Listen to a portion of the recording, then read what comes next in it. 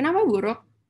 Karena kalian bayangin deh kalau misalnya dikasih website kayak gini, terus kalian misal harus nyari informasi soal sesuatu. Karena terlalu banyak elemen yang disajikan, gambarnya tuh kebanyakan, terus juga kotak-kotaknya banyak, dan uh, spacingnya tuh jaraknya terlalu rapat antara satu sama lain. Jadi itu kita tuh bakal bingung dan pusing. Terus kalau misalnya kita mau nyari search bar, misal kita mau ngetik sesuatu, itu bingung harus yang mana. Yang harus diklik ternyata tuh ada di sini kan. Nah, jadi uh, Gestalt Principles tuh bisa diterapkan untuk meminimalisir hal-hal kayak gini. Jadi contoh uh, website yang sering aku pakai dan aku suka itu tuh ini Unsplash. Ini ini adalah website untuk cari-cari gambar uh, yang bisa di, kalian pakai secara free. Jadi di sini tuh mereka tuh langsung to the point gitu loh. Pas kita uh, buka websitenya, search bar langsung gede di tengah, belakangnya background gambar. Dan ketika kita butuh untuk nyari sesuatu, kita tinggal nyari dan ngetik di sini. Jadi uh, kalau yang tadi kan bikin pusing kan. Kalau yang ini tuh kita buka itu langsung ada gitu loh informasi yang kita butuhin. Jadi nggak perlu mikir lama-lama lagi kayak tadi. Terus um, tadi aku bilang kalau misalnya kompetisi UX tuh juga um, membuat aku tuh merasa kalau itu adalah sarana yang um, cukup bagus untuk belajar UI UX buat mahasiswa. Sebenarnya gimana sih cara memulai nih teman-teman mahasiswa untuk belajar UI UX? Jadi uh, kalian tuh mungkin bisa bikin yang kayak aplikasi iseng gitu buat portofolio. Uh, contoh-contohnya bisa dilihat di uh, website kayak Behance dan Dribble. Jadi ini adalah contoh uh, UI portfolio. Terus bedanya ya sama UX portfolio apa kak?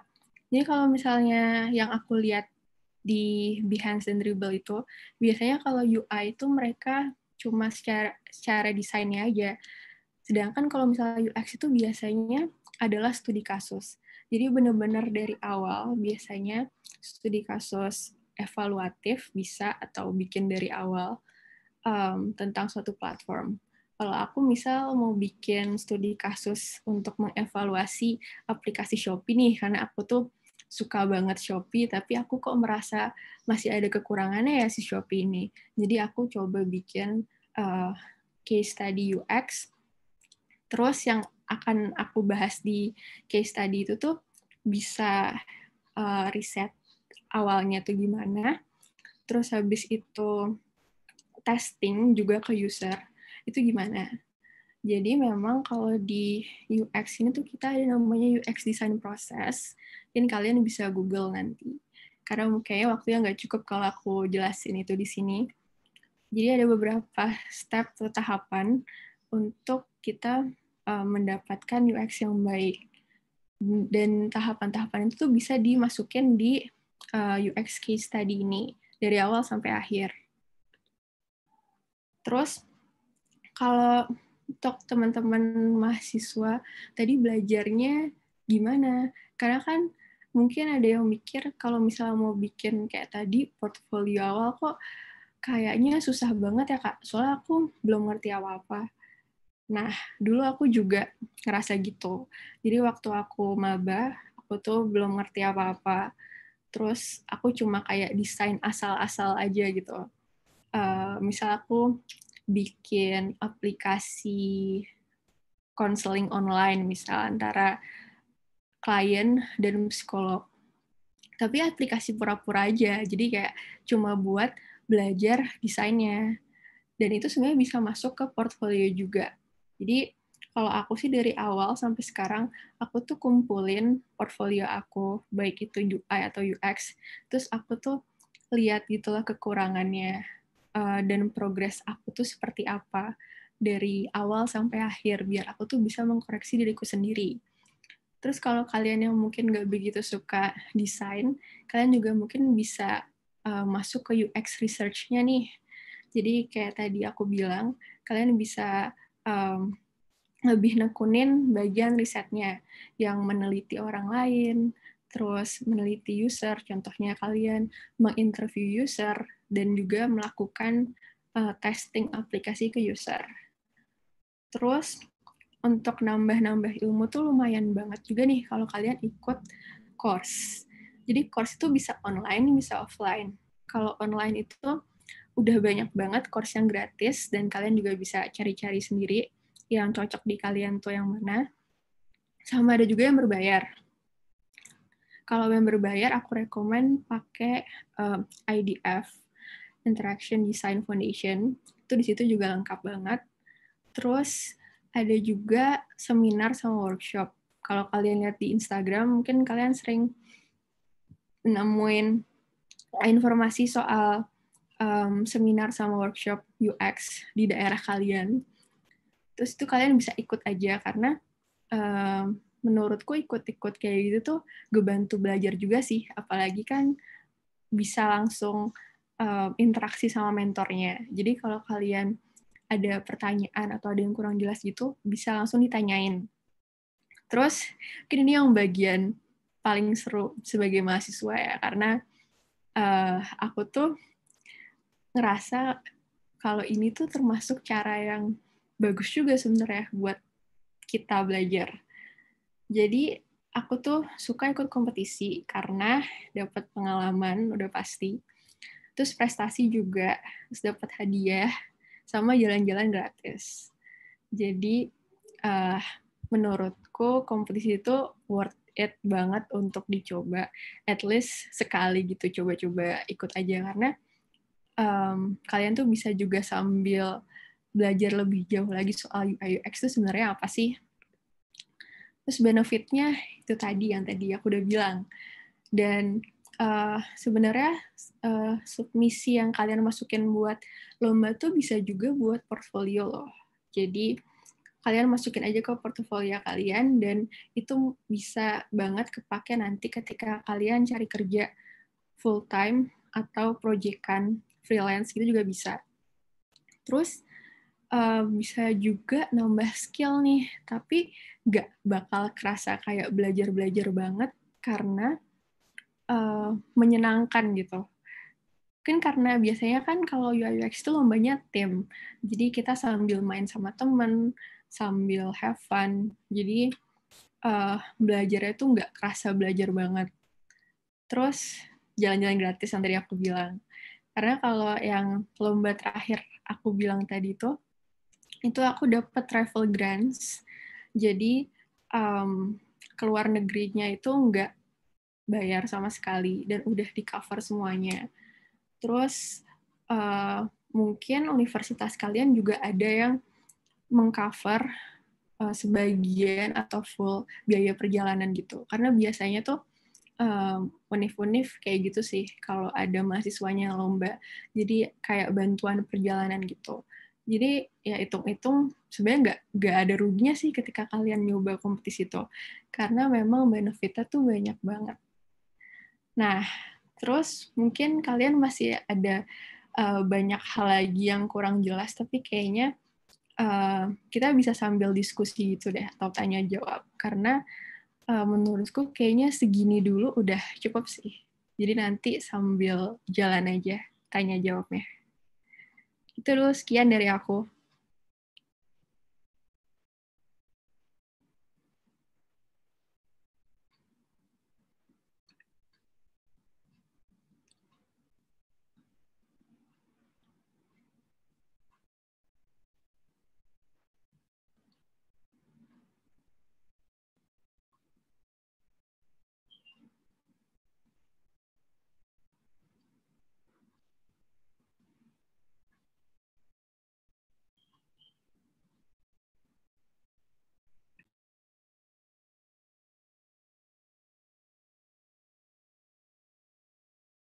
Aduh, udah malah Halo?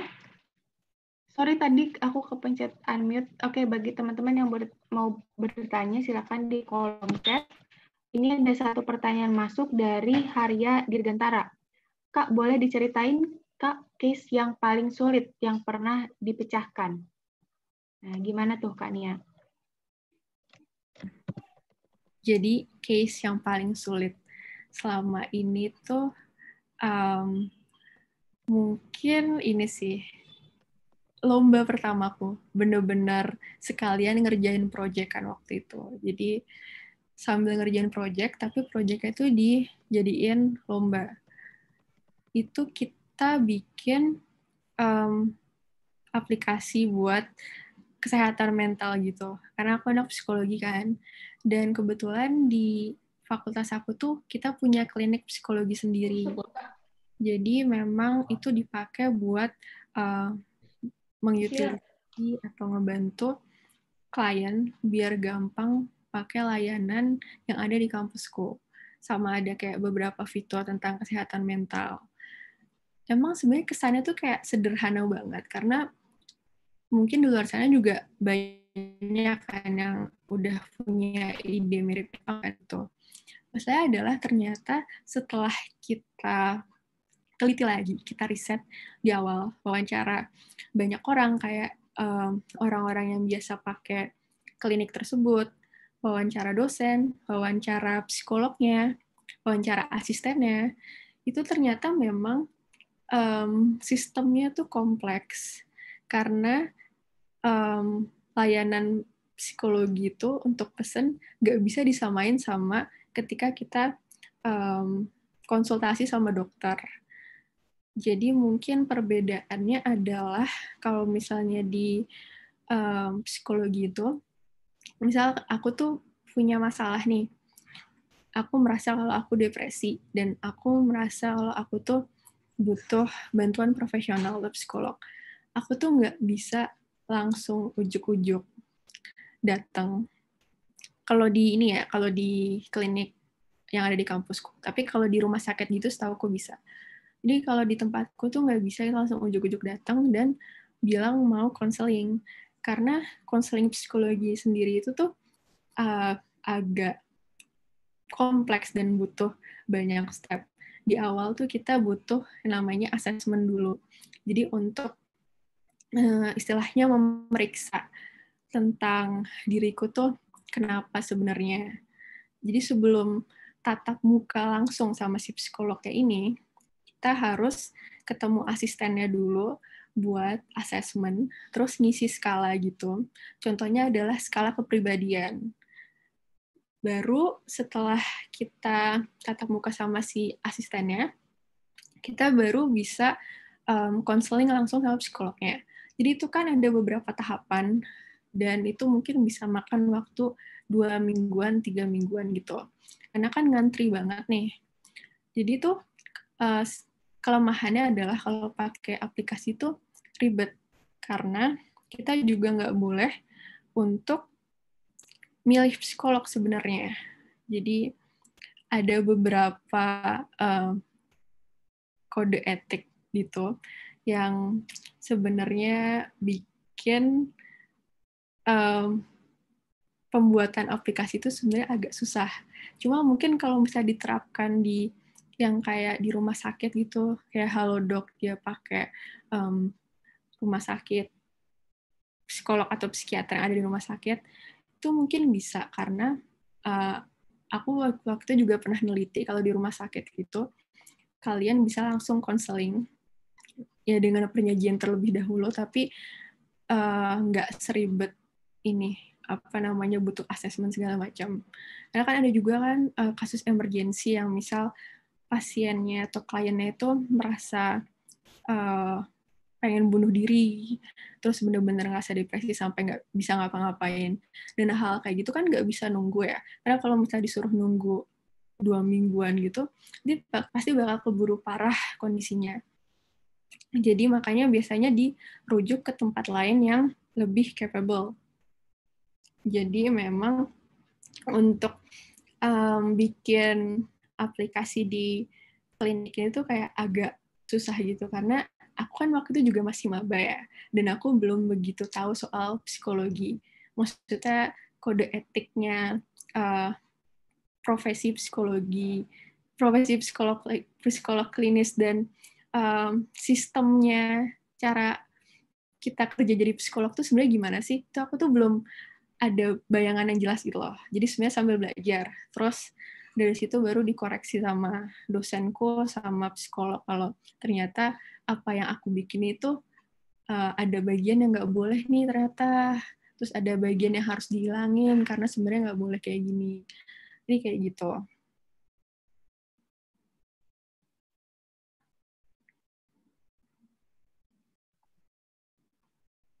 Oke, makasih Kania atas jawabannya. Gimana Kak Haria?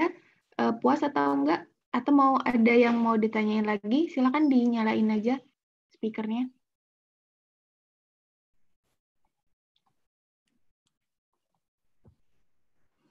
Oke. Uh, gimana Kak Haria? Udah cukup menjawab?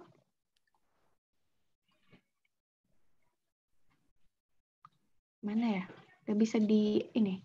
Oke, kita lanjut aja dulu ya, Kak.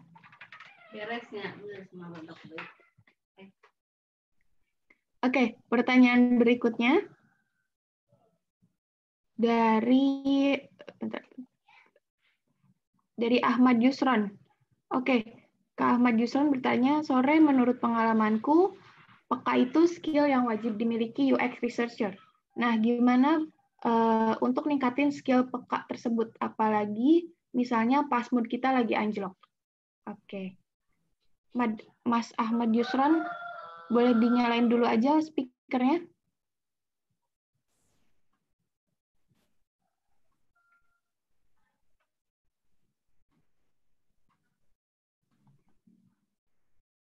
Eh, nah, ya, maaf. Oke. Okay. Kak Ahmad Yusron. Mau ditanyain langsung, silakan kenalan dulu namanya, asalnya dari mana. Uh, halo? Halo? Ya, gimana Mbak? Oke, uh, pertanyaannya bisa langsung di Mas sendiri yang tanyain. Sekalian kenalan dulu ya Mas ya. Oh ya, kenalin nama saya uh, Yusron. Oke, Mas dari Yusron Jogja, asalnya dari? Dari Jogja. Dari Jogja. Wah, Udah hmm. kedengeran logatnya. Mangga Mas, silahkan. Oh ya Mbak, matur nuwun. Nah, itu kan misalkan di di apa itu Mbak di seperti yang tadi udah disampaikan oleh Mbak Nia itu kan untuk membuat sebuah aplikasi itu kan butuh butuh research kan Mbak. Nah, hmm. research itu kan butuh kita pekat terhadap semuanya gitu. Kalau misalkan tadi yang dikasih contoh kan ada kode etik misalkan di psikologi atau kode etik bagian dokter berarti kan kita harus peka terhadap aturan mereka yang berlaku nah ya kan? Nah misalkan berarti kan kalau apalagi untuk pemula nih ya. Nah, untuk saya pun masih kadang susah. Berarti kan gimana cara kita untuk meningkatin skill dalam tanda petik peka itu? Apalagi jika misalkan mood kita lagi anjul-anjulkan nah kadang kan kita apalagi UX itu kan tadi kan uh, interaksi manusia kan human interaction. Nah, itu kan butuh apa ya, kepekaan yang luar biasa gitu. Gimana sih itu meningkatkan itu loh, apalagi terutama pada saat kita psikologi kita secara pribadi lagi anjlok, mood kita lagi nggak mood. Nah, itu kan pasti akan menghancurkan semuanya lah. UX kita jadi jelek, desain kita seninya jadi anjlok. Nah, itu gimana mengatasi pada saat kita mencapai ke titik itu. Thank you. Oke. Okay. Okay. Makasih pertanyaan pertanyaannya. Silakan Kak Nia. jawab aja ya.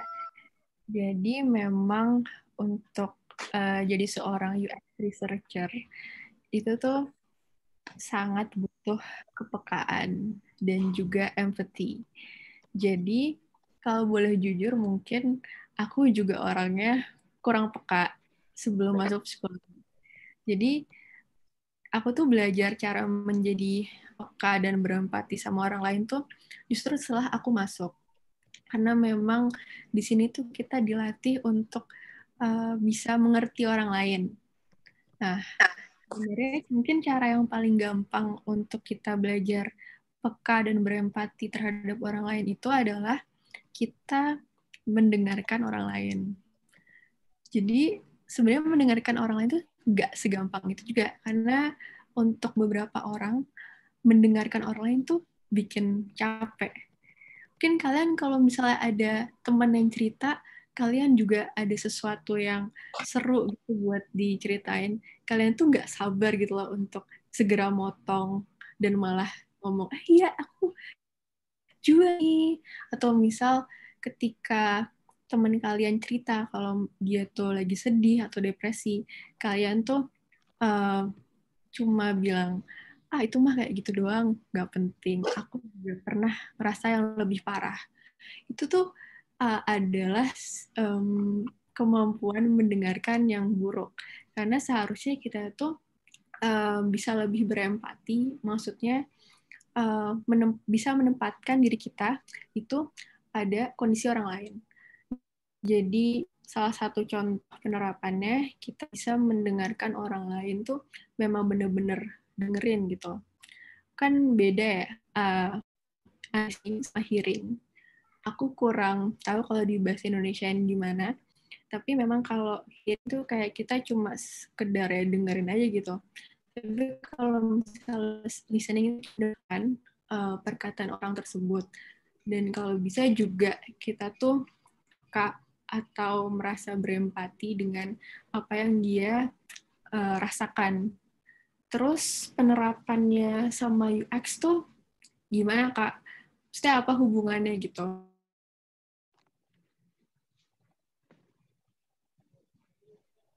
Ya. Ya.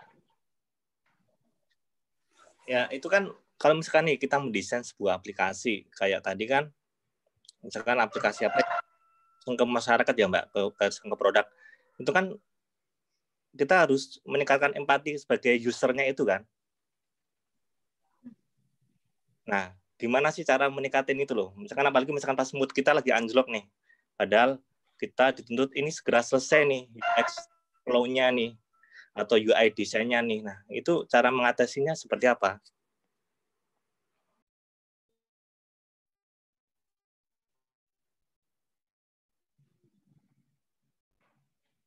Wah, Mbak Nia ke mana ya sebentar?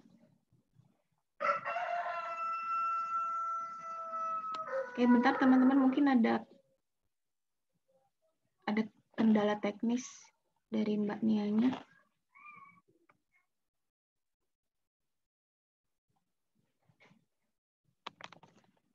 Oke, sambil nunggu Mbak Nia, silakan nih teman-teman yang lain yang ingin bertanya di kolom chatnya. Jangan lupa untuk kenalan dulu asalnya dari mana, instansinya.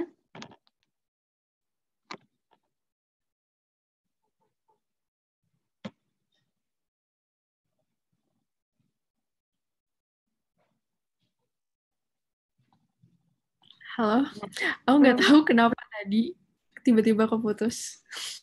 Oke. Sorry. Gak apa-apa. Tadi gimana mau diulangi lagi uh, Mas Ahmad pertanyaannya atau konfirmasinya? Atau aku langsung lanjut aja kali ya, ya dari yang keputus tadi. Ya, boleh-boleh. Uh, jadi, kalau penerapannya di UX tuh pasti erat banget karena sebagai UX researcher itu pasti selalu kerja atau berinteraksi dengan manusia. Dan dalam proses pembuatan suatu platform, misal kalian mau bikin aplikasi gitu, itu tuh butuh um, interview ke orang tuh banyak banget. Contohnya misal um, puluhan atau ratusan orang. Dan pasti untuk interview itu tuh kalian butuh effort kan atau usaha. Mulai dari nyari orangnya, terus um, janjian, terus juga um, cara ngobrol-ngobrol sama dia gimana, sampai akhirnya uh, analisis data dari rekamannya. Masalahnya adalah nggak semua orang tuh gampang untuk mendisclose atau um, mengutarakan apa yang mereka rasain gitu. Jadi aku pernah um, interview orang yang kalau ditanya itu jawabannya tuh iya iya aja. Jadi memang kurang bisa untuk uh, mengelaborasikan sesuatu gitu loh. Jadi uh, kita tuh juga harus bisa untuk menempatkan diri karena uh, partisipan itu kan backgroundnya berbeda-beda. kadang ada yang misal um, dari kalangan menengah bawah gitu juga pasti cara kita memperlakukan mereka, cara kita menginterview itu beda misalnya sama um, partisipan dengan background yang lain. Misal uh, mahasiswa gitu, sama yang karyawan, misal. Jadi empathy itu juga termasuk menempatkan diri kita sebagai researcher untuk bisa uh, interview atau berinteraksi sama mereka itu sesuai kondisi. Contohnya itu tadi, dengan ngeliat background partisipan. Makanya antropologi budaya itu juga um, banyak yang jadi UX researcher karena mereka banyak belajar hal-hal tersebut, kayak riset kualitatif gitu. Mereka udah sering menghandle sama kayak psikologi sih yang sebenarnya juga um, ada psikologi kualitatif dan hal-hal kayak gini tuh diajarin dari cara interview, terus kita uh, berinteraksi dengan orang tuh gimana untuk dapat hasil riset yang baik, terus nganalisisnya juga diajarin di situ. Itu Mas Yusron. Oke, Mas Yusron gimana? Udah cukup atau mau ada yang ditanyakan lagi? Kayaknya masih malah keluar nih. Oke, kita lanjut ke pertanyaan berikutnya aja ya, Kak. Dari. Kak Zahra. Oke, Kak Zahra silahkan. Ntar aku unmute dulu.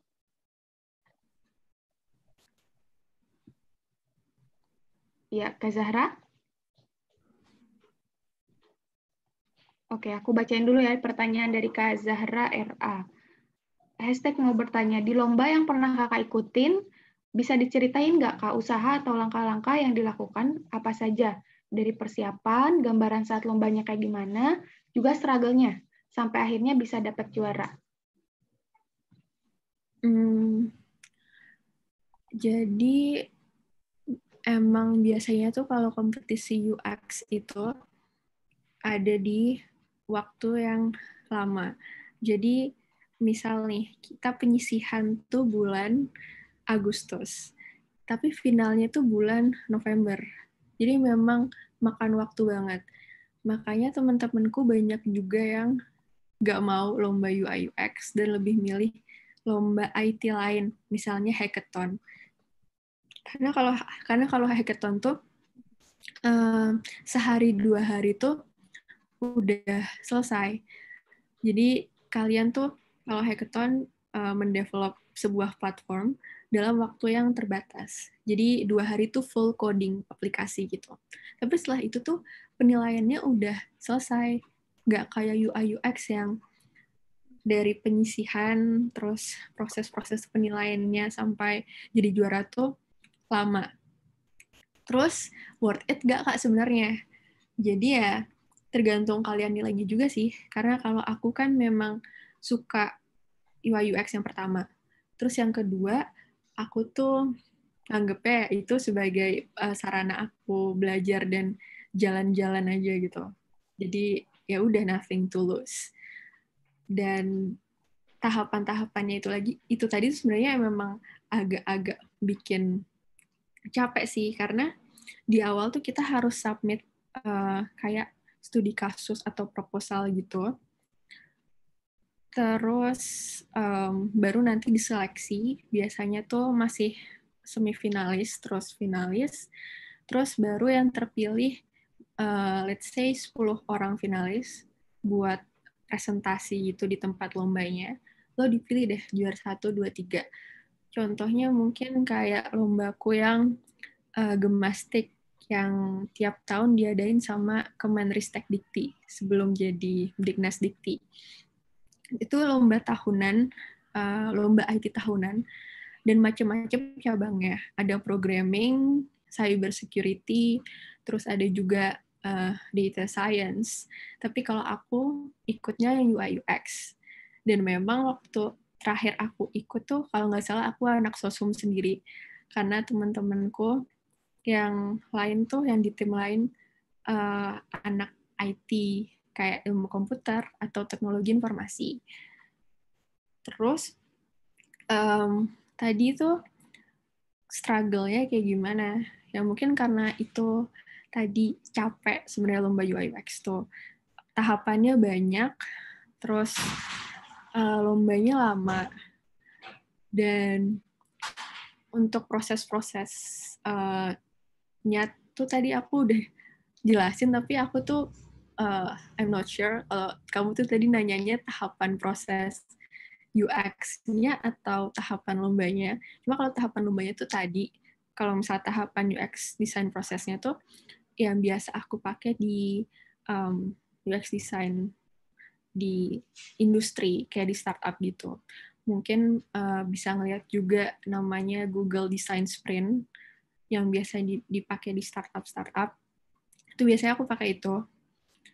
Um, terus ya udah. Jadi kita mendevelop sebuah prototype. Terus nanti prototype itu akan dilombakan. Selainnya kadang beda lomba tuh beda strategi.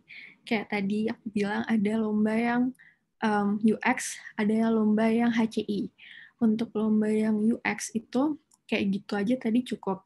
Tapi kalau lomba yang HCI itu mereka menuntut kita untuk bikin paper dan karena aku yang HC itu lomba internasional, jadi papernya bahasa Inggris dan ada riset um, riset HCI yang kemarin aku analisis dengan konsep neuroscience.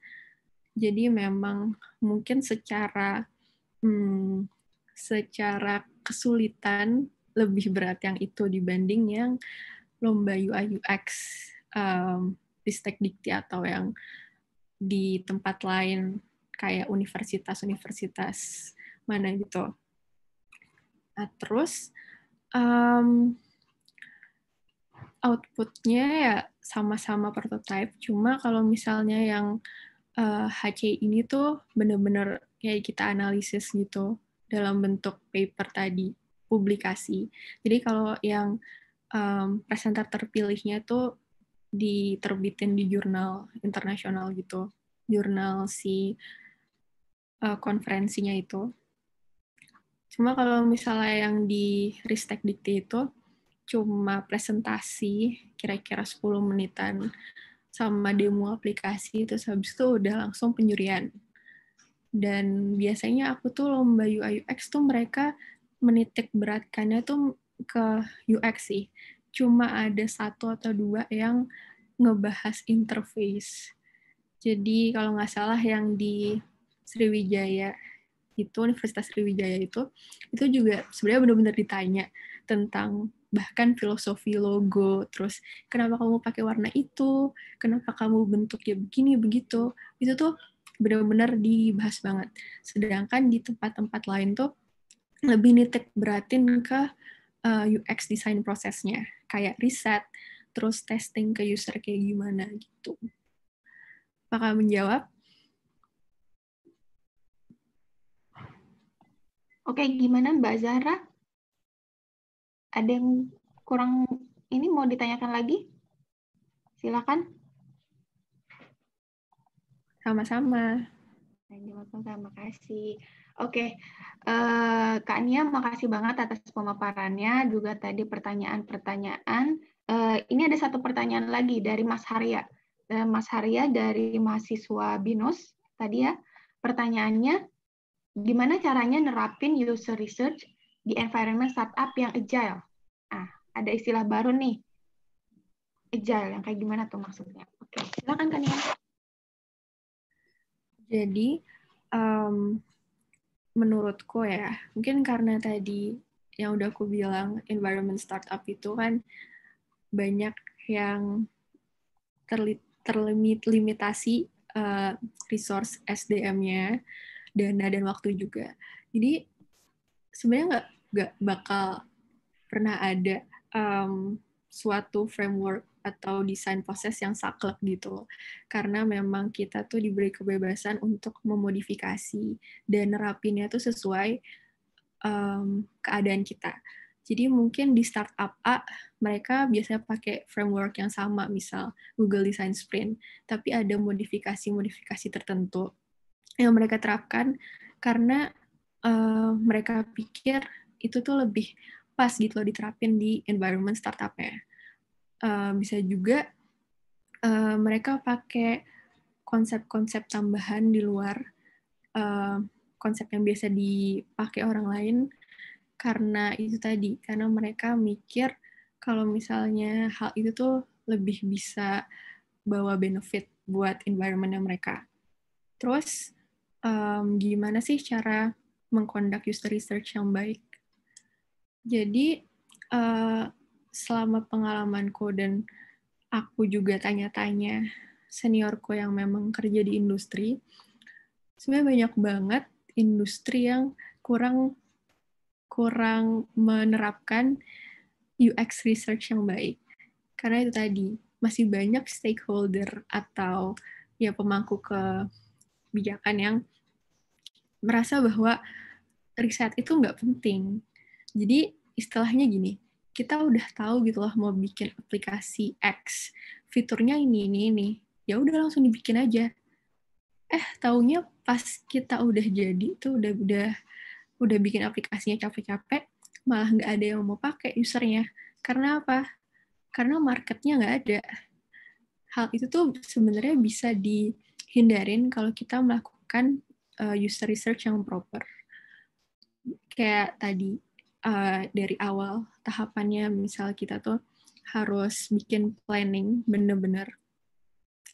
Uh, mungkin kita awalnya bisa bikin research plan.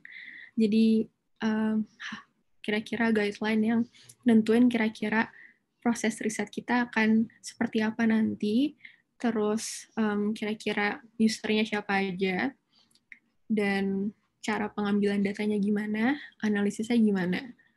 Dan mungkin karena riset ini kan sebenarnya mahal dan ribet, jadi banyak uh, banyak startup juga yang ngekat proses ini. Kalau nggak begitu aware dengan UI UX.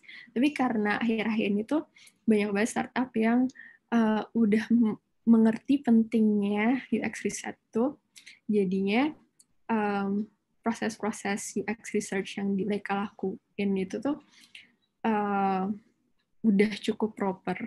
Jadi bisa dapat data yang uh, bisa dipakai buat pengembangan startupnya.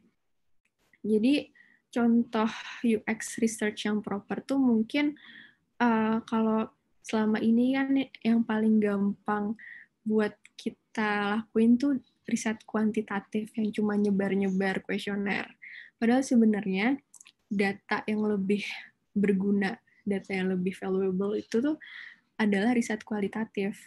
Meskipun capek untuk uh, mendapatkan dan menganalisisnya, tapi hasilnya tuh lebih worth it karena lebih kaya informasi dan juga lebih insightful untuk dipakai sama si startupnya. Contoh untuk dapetinnya itu tadi kayak interview. Jadi kalian tuh perlu interview si partisipannya satu-satu.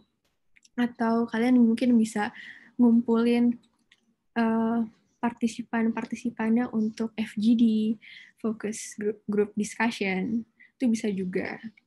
Cuma memang kekurangan FGD itu ada beberapa karakteristik partisipan yang mereka tuh malu-malu untuk ngomong. Jadi bakal kalah sama orang yang dominan. Jadi yang ngomong tuh bakal dia-dia terus gitu lah. Ya caranya gimana buat uh, nanggulangin itu? Ya mau nggak mau memang um, salah satu solusi paling mudahnya adalah interview satu persatu. Meskipun memang costly dan juga makan waktu, tapi hasilnya itu yang paling um, datanya yang paling kaya informasi untuk kalian pakai. Itu menurutku. Apakah sudah cukup menjawab?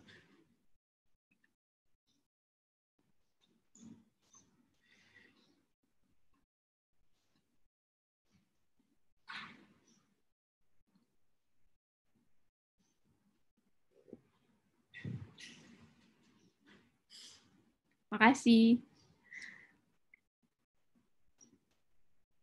Sama-sama. Mungkin kalau ada pertanyaan lebih lanjut, uh, bisa DM LinkedIn ku aja karena aku aktif banget main LinkedIn.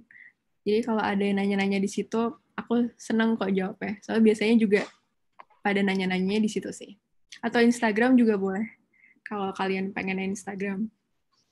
Oke, mantap banget nih Kania jawabannya. Tapi ada satu pertanyaan nih Kak. Ini mungkin uh, pertanyaan yang uh, kayaknya akan sering ditanyakan gitu. Sebagai praktisi UI atau UX, uh, boleh dong Kak pengen lihat satu portofolio yang pernah kakak bikin dan uh, di mana sih aspek psikologis yang kakak pakai di situ? Uh, gimana ininya ya? Bisa dijelasin lagi bu? Oh ya berhenti. Nah, soalnya aku belum ini nggak dijadiin satu sama apa namanya screen oh, yang di. Uh, uh, uh. Boleh nanti di share screen nanti, gitu kan? aku posting soalnya aku tuh aku lupa lagi nama filenya apa ya aku jadiin wow. satu video gitu. uh -uh. karena aku tuh biasanya memang uh, bikin portofolionya tuh UX sih bukan UI jadi lebih ke oh. kayak analisis kayak data, gitu. Uh, terus okay. uh, framework frameworknya itu apa jadi hmm. kalau untuk yang secara visual gitu paling ya cuma kayak satu dua gitu sih. Cuma kalau yang UX tuh ada beberapa.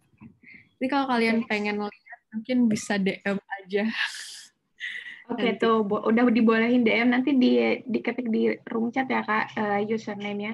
Oke okay. uh, eh, satu lagi deh kak ini juga uh, apa satu titipan pertanyaan. Salah satu konsep uh, psikologi yang pernah kakak pakai untuk di UX kayak gimana kak? konsep psikologi itu uh, contohnya tadi uh, gestalt psychology. Jadi aku tuh sebelum belajar itu tuh ngedesain sesuatu tuh agak-agak ngasal. Ngasal di sini tuh dalam artian sesukaku aja yang kelihatannya kayaknya wah bagus nih secara estetik warnanya kelihatan bagus nih, kekinian banget. Waktu itu lagi tren flat design kan. Jadi ya, ya. udah ngerasa keren banget nih. Udah stylenya flat design, terus um, desainnya juga kata kata orang-orang bagus.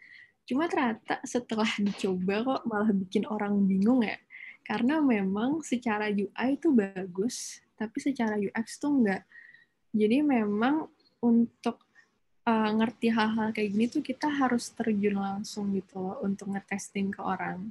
Dan tadi ya tadi aku bilang kuliah di psikologi itu sebenarnya ngebantu aku banget buat belajar UI UX. Jadi kayak aku merasa bahwa hal-hal kayak gini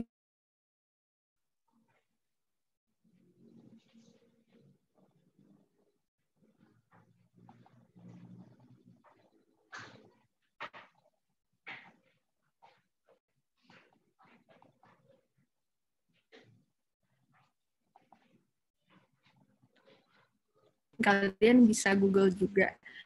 Itu tuh banyak pembahasannya tentang cognitive bias. Dan kalau kalian lihat, sebenarnya pakai konsep neuroscience dan psikologi.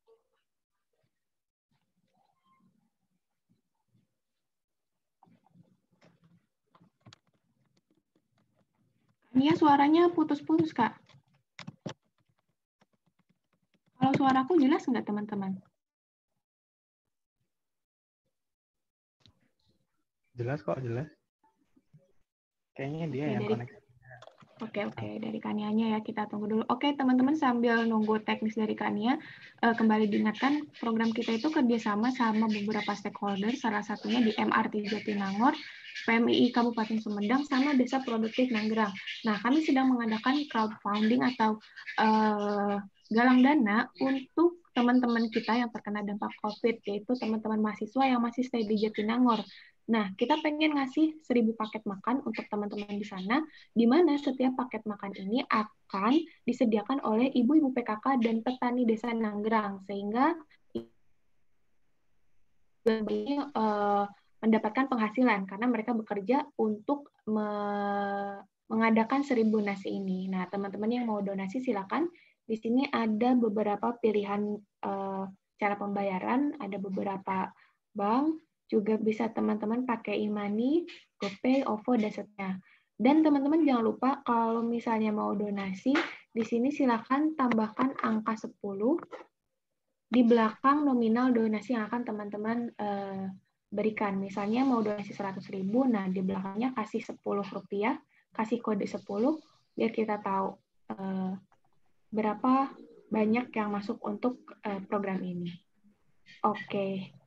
Uh, bentar kanianya masih. Oh, aku udah balik. Mana kak? Nah, aku nggak tahu, sorry tadi ya? kenapa mati. Nggak apa-apa. Oke, lanjut tadi sampai ke uh, ini konsep yang dipakai untuk uh, UX dan UI. Uh, tadi apa konsep psikologi? Ya, pertanyaannya konsep psikologi apa yang pernah kakak pakai sejauh ini untuk uh, di UI? Uh, kalau tadi kalau yang cognitive bias itu mungkin lebih ke UX ya, karena relasinya lebih ke user experience, sesuatu yeah, yeah. yang kita rasakan. Sedangkan kalau untuk visual design itu tuh konsep di psikologi yang ngebantu banget aku buat belajar UI itu tuh tadi Gestalt Psychology. Dan itu nggak dipakai di UI doang karena temenku yang uh, desainer grafis tuh juga belajar soal UI. Sorry, juga belajar soal Gestalt Principle.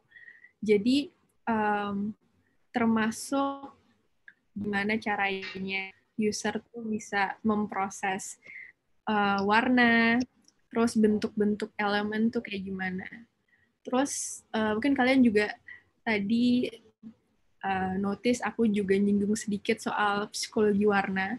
Jadi memang uh, warna tuh punya karakteristiknya masing-masing. Ya tadi kalau misalnya platform yang kesehatan mostly tuh pakai hijau atau biru karena punya efek calming atau menenangkan user. Sedangkan kalau misalnya hitam, kalau kalian suka dark interface yang gelap-gelap gitu, dark UI, itu biasanya dark UI itu dipakai di um, platform entertainment kayak Netflix tuh pakai dark UI. Oh iya iya iya. Spotify juga pakai dark UI. Cuma ada juga yang bilang kalau misalnya dark UI ini tuh kurang cocok diterapkan sama user yang um, kurang apa ya punya karakteristik itu tuh lebih tua misal dan kurang tech savvy.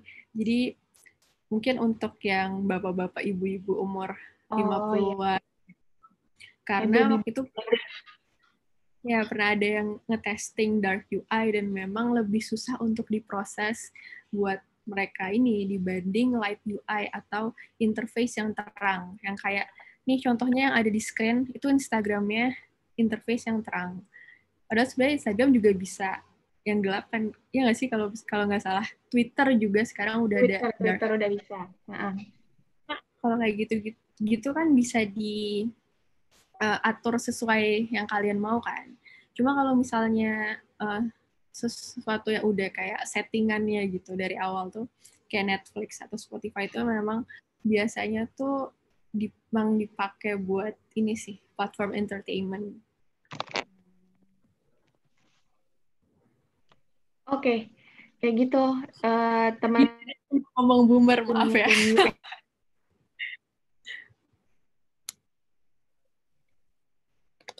Oh, koneksinya nih Kak Kaira. Eh, sorry, sorry. Itu benar yeah, yeah. kata Hari Boomer. Hari kayaknya semangat banget nih kan sama topiknya. Uh, menarik banget ya teman-teman. Ternyata di era digital uh, sekarang psikologi itu makin berkembang lagi. Konsep-konsepnya nggak cuma bicara tentang eh, penyakit-penyakit mental, tapi ternyata bisa ngebantu uh, kemajuan teknologi, teknologi informasi, dan segala macam agar bisa lebih uh, friendly terhadap user, lebih uh, empati lagi terhadap kebutuhan si pengguna teknologi ini. Oke, Kak Kaira, terakhir uh, mungkin mau memberikan closing statement. Ya, jadi uh, mungkin segitu dulu. Uh, sharing session dari aku. Mungkin kalau misalnya kalian ada hal-hal tentang psikologi mungkin atau UI UX atau hal-hal lain yang mau ditanyakan selain itu juga boleh banget. Kayak aku senang kalau ditanya-tanya. Lewat LinkedIn atau IG juga boleh. Uh, mungkin closing statementnya ini sih. Kalau sebenarnya psikologi itu tuh nggak terbatas pada uh, psikologi klinis dan juga human resource. Karena field ini kan sesuatu yang belum begitu familiar kan sama uh, orang banyak orang di luar sana. Jadi banyak yang anggap kalau aku tuh salah jurusan karena uh, menganggap UI UX ini tuh lebih ke arah IT. Padahal sebenarnya uh, mahasiswa psikologi tuh bisa banget loh ngambil uh, pekerjaan UI UX dan mempertimbangkan field ini sebagai prospek yang bagus ke depannya. Gitu sih dari aku. Eh, tepuk tangan dulu, tepuk tangan virtual ya teman-teman, keren banget. Eh, uh, Kakak Ira makasih banyak atas uh, semua pemaparannya. Uh, kita jadi nambah insight banyak banget, terutama tentang uh, penggunaan konsep konsep psikologi untuk UI dan UX. Teman-teman juga makasih banyak atas kesediaan waktunya. Jangan lupa kita membuka uh, donasi juga, sebarkan seluas-luasnya informasi ini. Barangkali uh, kita membuka pintu-pintu untuk orang lain yang mau berbuat baik. Barangkali ada yang mau berdonasi. Di sini ada uh, beberapa akun bank yang bisa teman-teman catat untuk nanti kirim donasinya dan juga ada imani. Nah, jangan lupa nanti di setiap nominal donasi yang teman-teman kirim uh, sertakan kode 10 di uh, belakangnya. Kayak gitu. Oke, pertemuan kali ini dicukupkan sekian. Sekali lagi makasih banyak Kak uh, atas kesempatan dan waktunya. Sukses terus. Uh, dan teman-teman jangan lupa 30 hari ke depan, uh, 30 hari selama Ramadan ini akan terus ada webinar dengan tema-tema yang nggak kalah menarik, juga pembicara yang kompeten di bidangnya. Jadi teman-teman uh, stay tune terus di Now We Know berikut-berikutnya. Uh, terima kasih atas perhatiannya. Mohon maaf dengan segala kekurangannya. Wassalamualaikum warahmatullahi wabarakatuh. Waalaikumsalam warahmatullahi wabarakatuh.